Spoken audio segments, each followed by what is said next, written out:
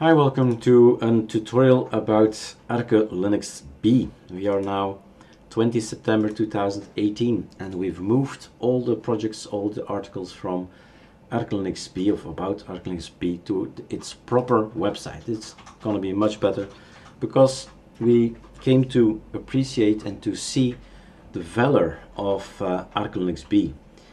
We give you the power to create an Arch Linux ISO the way you see fit if you don't want LibreOffice, if you do want LibreOffice, if you want um, Steam on it or anything really, you can change everything. Okay, so it's now on this specific uh, website, arcolinuxb.com, and you will have here all the links. This is another new one, but I'll is explained in, on the new uh, in the news on ArcoLinux info. but the thing is that we are making a tutorial also about ArcoLinuxD this time. So this was okay, we, this exists already and it's just a move from one side to another, but this one is new. So if you want to make an ArcoLinuxD in between time, so we have releases, monthly releases, so after our release you can always build another one if you want to yourself. So that's what this video is about, how to build an ArcoLinuxD and do not change anything just the way we do it and then put it on SourceForge. We're going to follow the procedure, git clone, control C, go down here, open on the desktop for instance, we go to the desktop and in here we say let's git clone this thing, control shift V. This means that we get a dump of all the files that are online. And what we should do is go to installation scripts I always do it like this, right mouse click, open terminal, make this one here so it's big. So this is my layout to know I'm building things here. I can't shut the computer down, I need to follow it up. So he wants to know my password, so that's fine. And that's basically it. Now we can walk away and come back and you'll see that an ISO has been built and is going to be moved in a particular folder. We've changed that in the script, that's new. Uh, so you can always edit this file here, open with any of the possibilities here. Sublime text, for instance, it's on screen two. So it's going to be moved in ArcoLinuxD out. So that's a folder that's going to be created and it's going to be in there, the new ISO.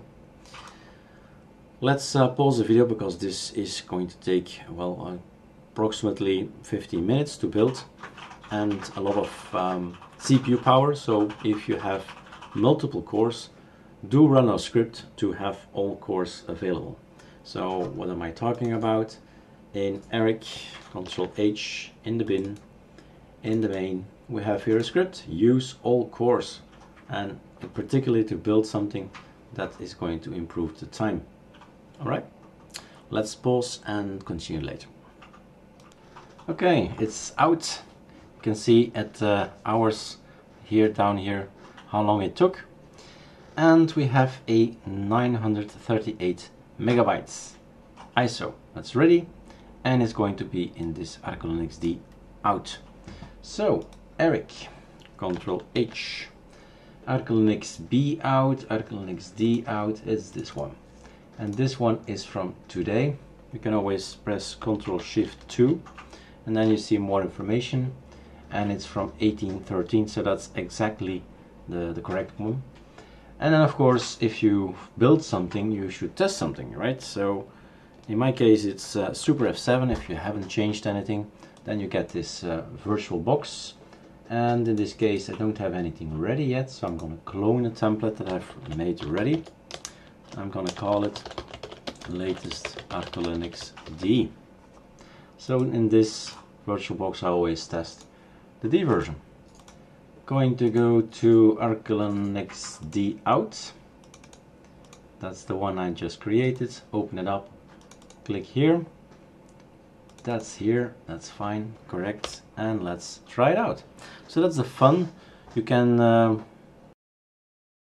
box and at the end of the day you say okay everything is fine I've built 10 ISOs this time it's good this is what I want and then you put it on an SSD so this is the standard uh, installer, you know them by now by heart.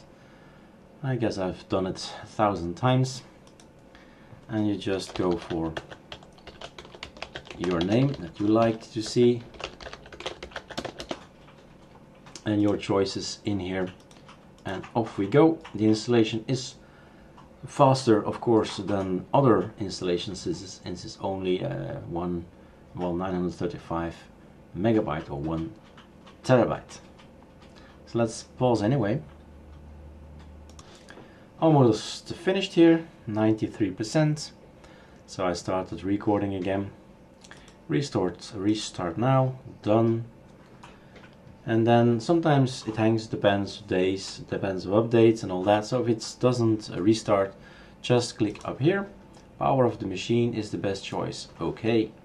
And then do it again now of course you don't want to have the first line that's a DVD we do want to go straight to the hard disk which is a virtual hard disk virtual box. And there we are. And then we go test if everything is okay. You can do an update. But first first things first depending on where you are you want of course the fastest Arch Linux service around.